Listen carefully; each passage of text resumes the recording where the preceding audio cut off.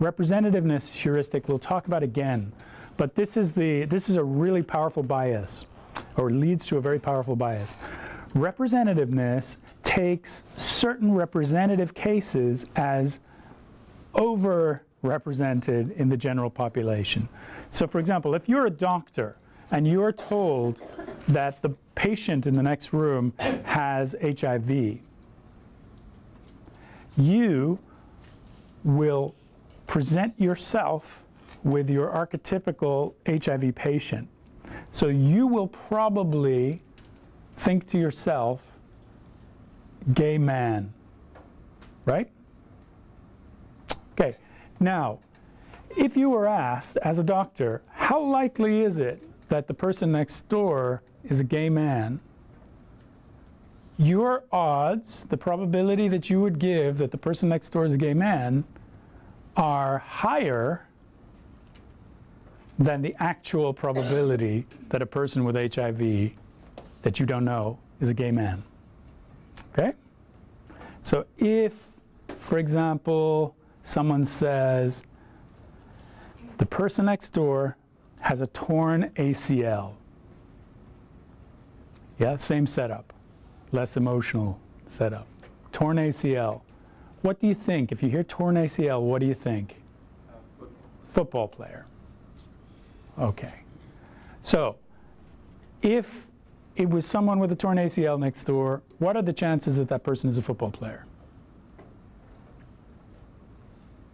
Now you've been primed, so you know how many football players are there as a percentage of the general population? Very small percentage of the general population is a football player, right? Yeah? Yeah? Okay. Now the person next door is a member of the general population, a very small portion of whom have this career, football player, or this activity, football player. Most people don't. Okay? Within the population of people who play football, how many people get torn ACLs? Well, not everyone who plays football gets a torn ACL, right? Half of them? No. Less than half? Very small relative to the overall population of players will tear their ACL. Yeah? Okay. So now, are we revising the likelihood that the person next door is a football player? I hope so. Okay. So notice that, I'll get you in a second, Joshua. Representativeness is where the connection, the psychological association ACL football player is very strong, and that overrides your ability to do what? To accurately judge or to sort of gauge what is the actual likelihood that this person is doing that.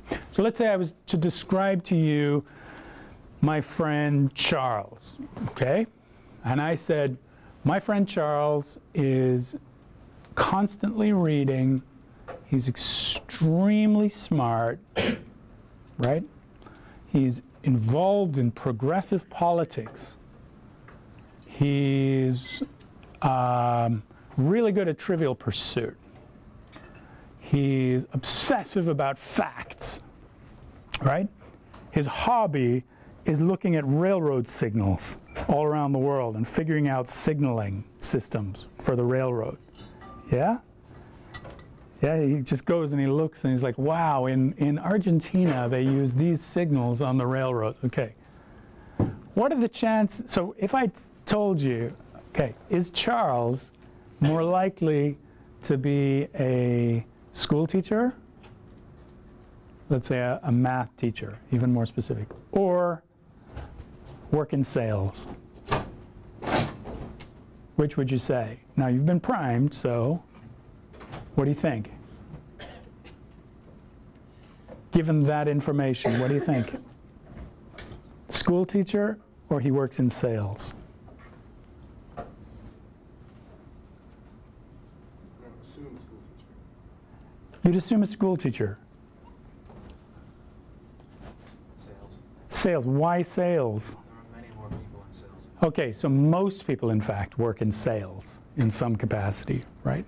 So if, even knowing that he has these dispositions, think of all the people who work in sales who have those dispositions also, right? Okay, so the strong association that leads us to say school teacher or librarian or professor or whatever, you can see why those associations get made, right? We can prime those associations, but you've overridden, what have you overridden?